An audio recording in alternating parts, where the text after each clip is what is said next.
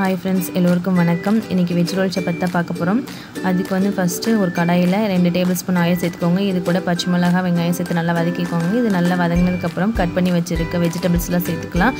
நான் வந்து இன்றைக்கி கேரட் கேபேஜ் உருளைக்கிழங்கு சேர்த்து தேவையான உப்பு சேர்த்து வதக்கியிருக்கேன். இது நல்லா வதங்கினதுக்கப்புறம் இது கூட கால் டீஸ்பூன் மஞ்சள் தூள் அரை டீஸ்பூன் கரம் மசாலா ஒரு டீஸ்பூன் வரமிளகாத்தூள் சேர்த்து இதோட ரா ஸ்மெல் போகிற வரைக்கும் நல்லா ஃப்ரை பண்ணிக்கலாம். இது நல்லா வெந்ததுக்கப்புறம் ஃபைனலாக இது கூட கொத்தமல்லி தூவி இறக்கிடலாம். அதுக்கப்புறம் சப்பாத்தியில் இந்த மாதிரி டொமேட்டோ சாஸ் எடுத்து நல்லா ஸ்ப்ரெட் பண்ணி விட்டுக்கோங்க. இது ஸ்ப்ரெட் பண்ணதுக்கப்புறம் நம்ம வதக்கி வச்சுருக்க அந்த உருளைக்கிழங்கு எல்லாத்தையும் எடுத்து உள்ளே வச்சிடலாம்.